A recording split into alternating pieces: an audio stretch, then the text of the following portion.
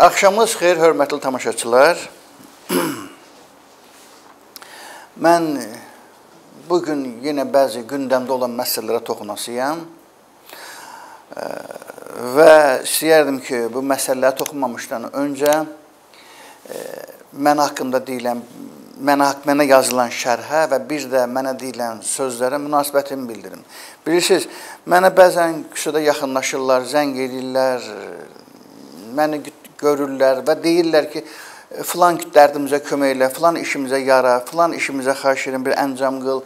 Bilirsiniz, məsələ bundadır ki, mənim heç bir səlahiyyətim yoxdur, heç bir köməklik elə bilmirəm sizə. Ona görə xəcalət çəkirəm sizdən. Vaxtı ilə əlimdə səlahiyyət olanda eləmişəm.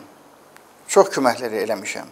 Bacardığımı eləmişəm. Amma məsələ bundadır ki, bu günlərim heç kim heç kimə kömək eləyə bilmir. Elə bir devirdəyik ki, bir misal var, deyir, bir devirdəyəm ki, nəzm olub xar.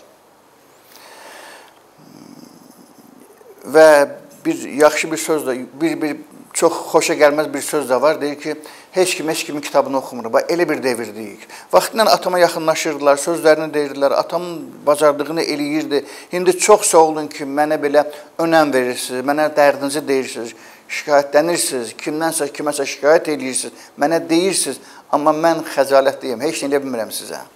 Ona görə üzr istəyirəm sizdən. İndi mən mən haqqında yazılan bir şərhəm, bir müraciəti istəyirdim ki, münasibət bildirim. Mənə sual verirlər ki, sizin üçün birinci nədir? Dindir yoxsa millətdir?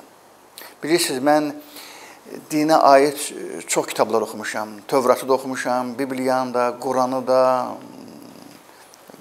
Öyle dəfələrlə həm rus dilində, həm Azərbaycan dilində, həm farsça dəfələrlə oxumuşam. Və gəldiyim nəticə bundan ibarət olub ki, bir söz deyə bilərəm ki, ərəbcə deyəcəyəm, əlhəmdülillah, ənə müslüm. Min şükürlər ki, mən müsəlmanam, amma mənim üçün birinci millətdir. Bilirsiniz, ona görə ki, millət olması olmalıdır ki, dini qorusun, saxlasın. Din də qalmalıdır ki, milləti qorusun, saxlasın. Bunlar ikisi bir-birinə vəhdət təşkil edirlər. Bu dünyada 36 din olub. Mən eşitdiyimə görə, onun 32-si ölü dindir, 4-ü fəaliyyət göstərir. Və bu elə dinlər var ki, Daoizmdir, Caoizm, Sentaizm, nə bilim nə, nə və ilaxır, və ilaxır, və ilaxır çox dinlər və şamanizm zat gedir. Amma məsələ bundadır ki, bunu qoruyan, bu dinləri qoruyan millət olmadığına görə bu millət, bu dinlər məhv olublar. Bu saat bunlara tapınan yoxdur. Dinin qalmasından ötürü millət lazımdır. Millət qoruyub saxlasın. Millətin qalmasından ötürü din lazımdır. Bunlar vəhdət təşkil edirlər. Elə o sayaqdan da mən deyirəm ki, mənim üçün birinci millətdir. Millətim lazımdır ki, vacib şərtdir ki, mənim millətim dinimi qorusun. Bu qədər. İndi ona görə bir qədər mən e, istəyərdim bir izahat verim. Vaxtı ilə Azərbaycanda bir difai partiyası olub. Bu difai partiyasının qurucularından da biri olub Məhəmməd Pişnamazzadə, yəni Əhməd Ağaoğlu, Pişnamazzadə və s. və ilaxır. Bu Pişnamazzadə haqqında mənə deyə bilər ki, bu Pişnamazzadə yox, digər Pişnamazzadə, digər Pişnamazzadə yox, başqa bir Pişnamazzadə. Birisi bu nəsil böyük nəsildir. Bu Məhəmməd Pişnamazzadə özü olub din xadimi. Çox savadlı bir adam olub. Hüququ çox gözəl bilirdi, fəlsəfəni çox gözəl bilirdi, rus dilini çox gözəl bilirdi. Və bu Difai partiyanın fəal üzvlərindən olub və ermənilərə qarşı mübarizə aparırdı. Demək olar ki, ermənilərin obrazı şəkildə deyirəm, başını kəsirdi, qanını içirdi. Obrazı şəkildə deyirəm. Təsəvvür edin ki, bunu Rus generalı həbs eləyəndə, bu səhv eləmirəmsə, iki dəfə hə, sürgündə olub. Bir Türkistanda, bir Kazanda. Bu Rus general bunu həbs eləyəndə buna sual verib, deyib ki, sən necə din xadimisən ki, sən baş kəsmisən. Sən insanları qətlə yetirmisən. O zaman belə bir gözəl söz deyir, fikir verin. Çox məntiqli bir cavab verir. Deyir ki, əgər bunlar mənim dinimə təcavüz eləmiş olsaydılar, dinimə, mən tapşırardım bunları Allaha. Allah bunların cəzasını versin. Çünki bütün dinləri yaradan Allahdır. Amma bunlar mənim millətimə təcavüz eləyiblər deyə ona görə mənə bu işi görməyə Allah mənə tapşırıb, Allah həvalə eləyib. Ona görə mən bunların bunlara divan tutmalıyam. Bir daha təkrar edirəm, fikir verin, deyir ki, əgər bu mənə mənim dinimə təcavüz olmuş olsaydı, mən tapşırardım bunları Allaha.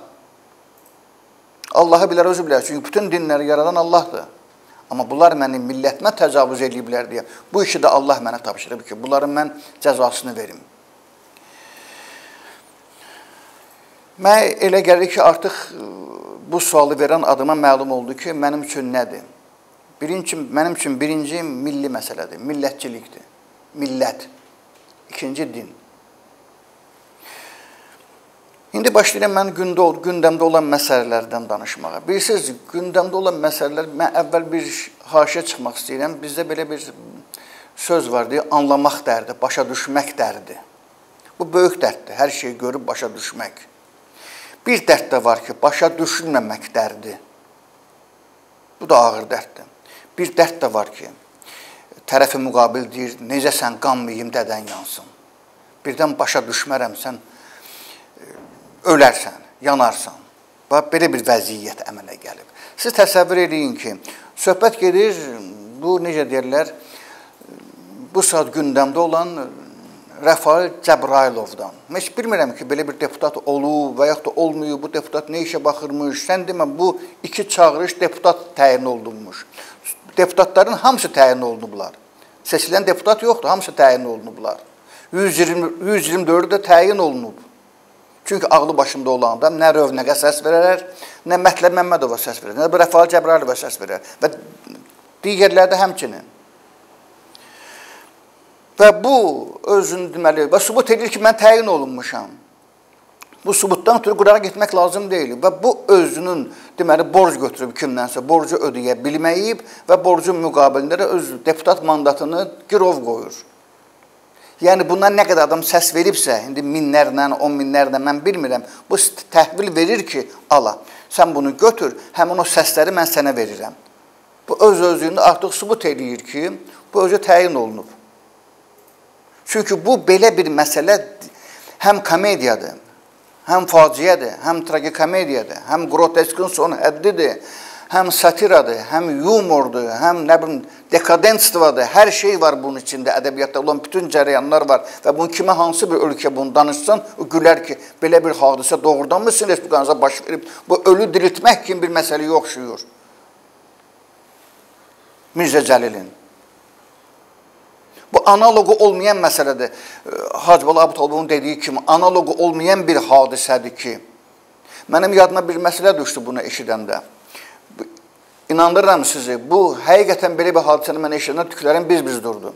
Mən o zaman Moldovada işləyirdim. Bilmirəm 9-cu il idi, 10-cu il idi, hansı il idi? Deməli prezident Voroninin prezident vaxtına xitam verilirdi. Müddəti bitirdi artıq.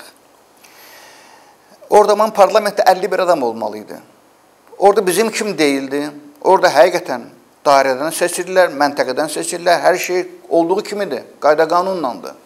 Və məsələ elə gətirir ki, bir fəhlə bir səs versə, artıq Varonin seçilir, deməli parlament sisteminə keçirlər. Artıq Varonin olur parlamentin spikeri. Deməli prezident üsul idarəsi rəğb olunur. Bunlar keçirlər də parlament üsul idarəsinə. Bir fəhlə və bu fəhləni də çağırırlar fəhlə söhbətə. Fəhlə də deyir ki, mən səs vermirəm Varonina və buna təklif edirlər 3 milyon evro. 3 milyon evro pul təklif verirlər. Bu da üzr istəyirəm gedəndə cibində maqnitofon olub, telefon olub, diktofon olub. Bizim kim deyil gedəndə yoxlasınlar. Jekin idarəsinin gedəndə yoxlayırlar bizdə. Və bu da bunu səsini yazıb. Deyib ki, mən səs verə bilmərəm. İstəyir 3 milyon, yox 30 milyon səs verin mənə. Səs verə bilmərəm mən. 30 milyon evro siz verin, mən səs verə bilmərəm sizə. Ona görə ki, mənim millətim 4 ildir sizdən narazıdır. Mən bir də 3 milyon alım tüpürcə hiyəsi olum. Mən buna getmirəm. Və bu bütün bu barədə Moldova danışır. Və mən fikirləşdim ki, əvvəla mənə təəccüb gəldi. Mən gördüm ki, Moldovan cəmaatı buna təəccüblənmədi. Nə var axı burada? Ham bunu belə eləyər. Normal ağlı başında olan bunu belə eləyər. Və mən fikirləşdim ki, bir Nəinki 3 milyona, nəinki 300 minə, nəinki 3 minə, bəlkə də 300 manada bizə buna gedərlər. Mən bunu tam səmimiyyətlə deyirəm. Bir manada sözünə qədər bizə buna gedərlər. Tək bizdən razı qalsınlar. Mən səs verdim, görürsünüz nə elədim.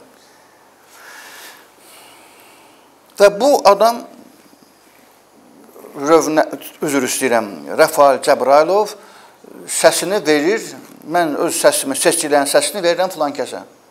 Saxla bunu, mən pulum olunda verərəm sənə. Nə var, nə var, adam villa tikməlidir. Hökmən villada yaşamalıdır. Bu nə qədər villalar olar? Villa, Çexiyada mülkləri, Londonda mülkləri, offshore şirkətdə pulları, nə bilim nələri, maşın parkları, bu hamısı olmalıdır. Ona görə ki, bunlar göz açıb dünyaya gələndən villalar görüblər. Villaların içində liftlər görüblər. Bunsuz yaşaya bilməzlər bunlar. Bunlar kəl arabasında gedəndə də bunu görüblər. Villada yaşayıblar. Bu biabırçılıqdır. Hökmən sən villada yaşamalısan. Villanda olmasın, adi ev olsun. Xruşovkada yaşa. Amma kişi kim yaşa, mənliyini qoru saxla. Hökmən səndə villa olmalıdır. Kimi tərpədirsən, hansı deputatı tərpədirsən, həmin o deputatın altından çıxır milyonlar, milyardlar və bunu da belə də qəbul edirlər, belə də olmalıdır. Əgər bir kimsə bizim bu eybimizi bilirsə, dilinə gətirib deyirsə, olur müxalifətçi. Söhbət ondan gedir. Yox, gör, amma səsini çıxartma. Danışma. Biz fironuq. Özü bu fironlar inandıram sizə 8-10 min nəfərdirlər.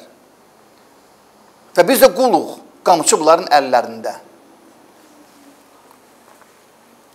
Sən nə görürsən? 3 milyonluq saat da bunlar taxmalıdırlar.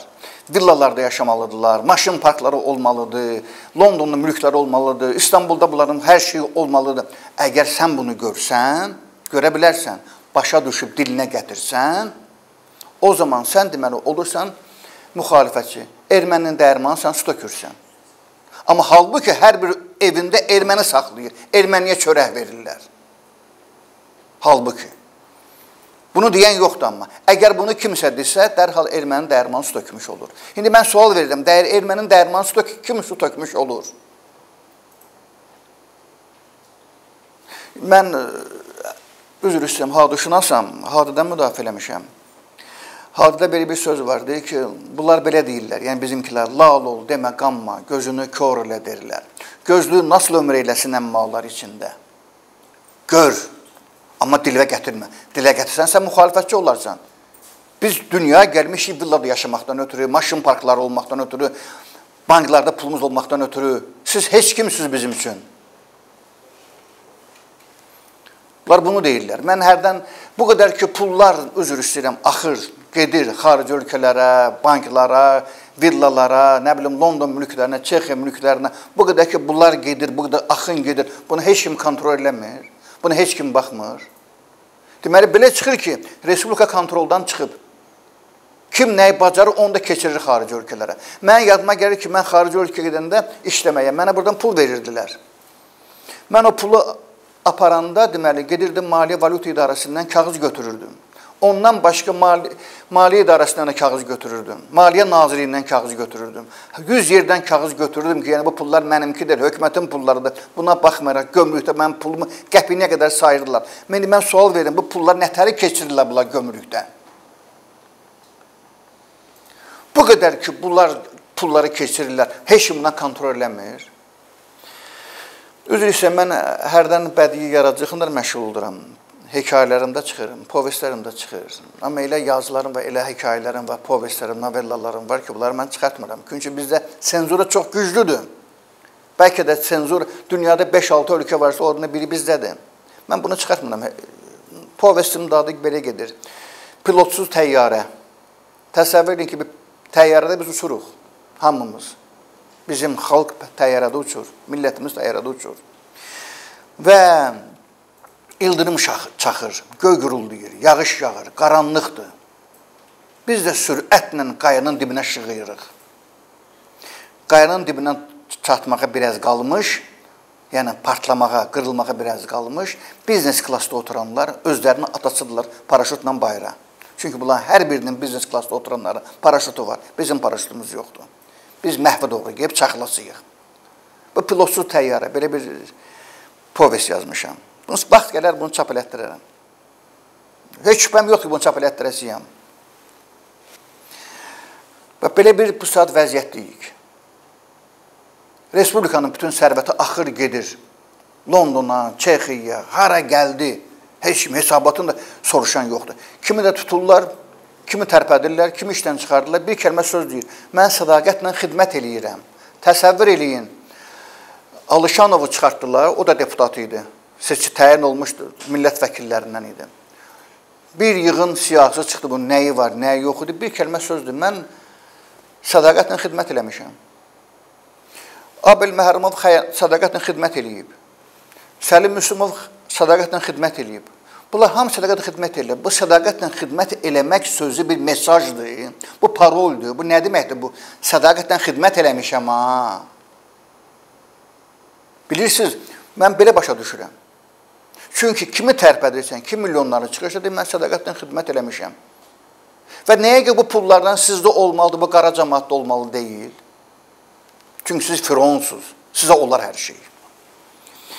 Keçim ikinci məsələyə. Bilirsiniz, mənə elə gəlir ki, bizim bu nazirlər kabineti ki var, bunu bağlamaq lazımdır. Çünki bizə nazirliklər yoxdur.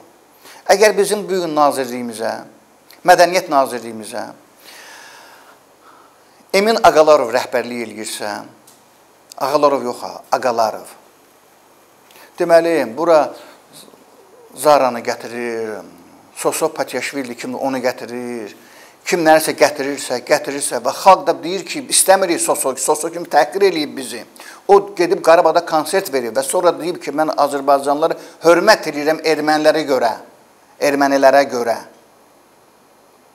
və bunu biz qəbul ediriksə, bizim mədəniyyət naziri hara baxır? Filip Kirkorov ermənidir, erməni kökənidir. Bu da gəlirsə, biz xalqın iradəsinin əleyhinə çıxırlarsa, bizim mədəniyyət nazirimiz deməli yoxdur.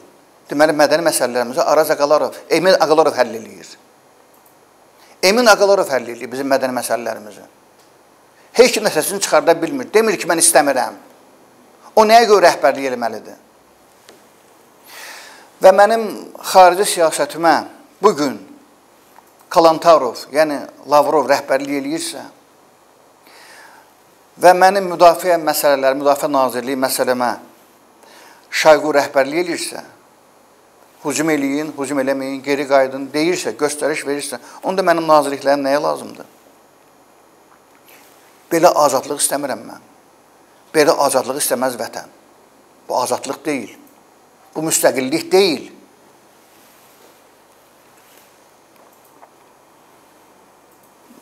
Ümumiyyətlə bir şeyə fikir verin ki, əgər hər bir adamın, hər deputatın, hər nazirin, hər vəzifəlinin qohumları ermənidirlərsə, biz nə edə bilərik?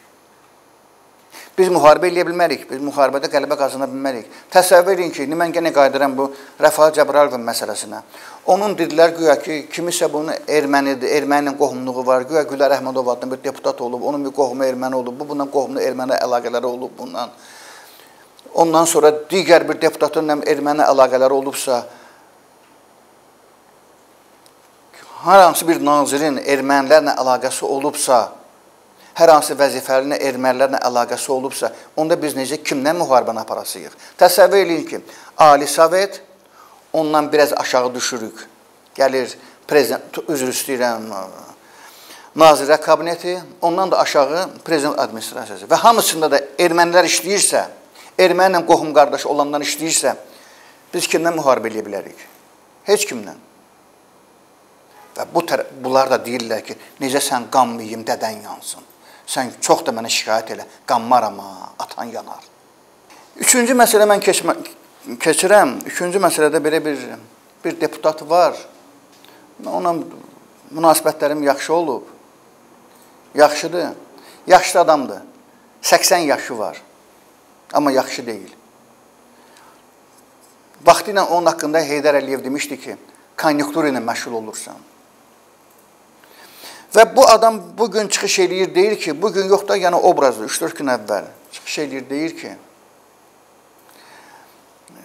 işsizlik yoxdur, hamı işlə təmin olunub, maaşımız da çatır.